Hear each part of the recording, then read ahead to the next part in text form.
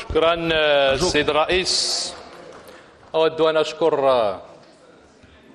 الفريق المحترم على طرح السؤال المرتبط بنقل البضائع واللي بالفعل كما تفضل بذلك السيد المستشار المحترم وهو أدرى بالقطاع باعتبار العمل المشترك اللي كان عندنا في الحكومة معاه وأيضا في إطار التفاعل الإيجابي اللي تبديه الحكومة دائما مع المهنيين في مجال النقل وفي مجال نقل البضائع بالأساس. آه، القانون بالفعل المنظم القطاع ديال النقل البضائع كما تعلم السيد المستشار المحترم أفضى إلى التحرير ديال القطاع بمعنى أنه الارتباط اللي كاين ديال الدولة والمؤسسات ديال الحكومية بهذا القطاع هو تيكون في إطار المتابعة ولكن أيضا في إطار عقد الاتفاقيات والشراكات.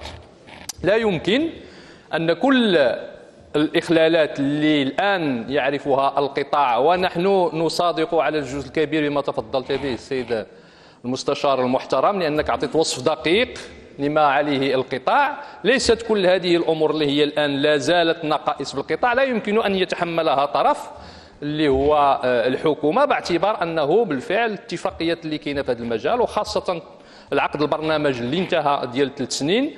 تعلم على أننا اليوم نشتغل على إطار أننا نفصلوا عقود برامج أخرى واللي ليس فقط العقد الكادر الإطار الإطار العقد البرنامج الإطار ولكن أيضا دخلنا في التفاصيل ديال هذا العقد إلى مواضيع اللي هي متخصصة بحال التخصص ديال نقل البضائع بالموانئ حول التنمية ديال الموارد إلى آخره. وهذه العقود اللي هي برامج المستقبليه اللي نحن جاهزون السيد الرئيس كما تعلم نحن جاهزون على أساس أننا نوقعها الآن ابتداء من الغد إلى إذا بغيتوا في إطار التفاعل الإيجابي مع المهنيين. وتعلم السيد المستشار المحترم على أنه بالفعل النصوص ديال هذه عقود البرنامج الأخيرة اللي خصنا نوقعها معكم منذ أكثر من سنة. ونصف وهي في البايب كما تنقولوا ونحن تناخذوا ونجيبوا فيها على أساس أننا نوصلوا للصيغة آه، النهائية.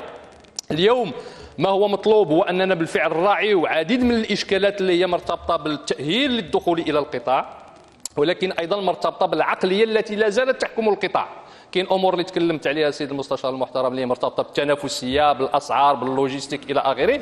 ولكن اليوم إذا ما تجاوزناش أمور اللي هي مرتبطة بالمهنية ومرتبطة بالذريرية ديال القطاع 52 ألف شركة في حوالي 55 56 ألف شاحنة.